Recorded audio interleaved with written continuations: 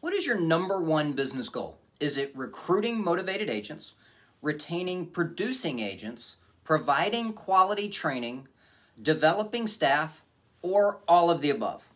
Whatever it may be, these are the critical pieces to building a nine and 10 figure business. In order to reach those numbers, you must have a clear focus on what you want to achieve. Are you prioritizing recruiting new talent to keep your pipeline full? Or are you more focused on retaining your top producers to ensure consistent revenue streams? Perhaps your main goal is to provide top notch training and equipping your team with the skills they need to succeed. Or maybe you're working on developing your staff to take on more responsibilities and grow with the company.